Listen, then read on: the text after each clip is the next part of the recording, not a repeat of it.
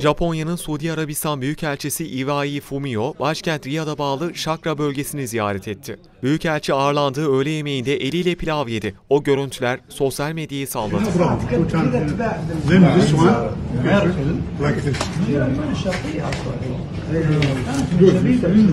Şakran valisi Adel El Bavardi ile öğle yemeği yiyen Fumio'ya Suudi Arabistan'ın en ünlü yemeklerinden biri olan ve elle yenen mefatay ikram edildi. Büyükelçi büyük bir nezaketle yemeği vali gibi eliyle yedi. O anlar kameralara böyle yansıdı.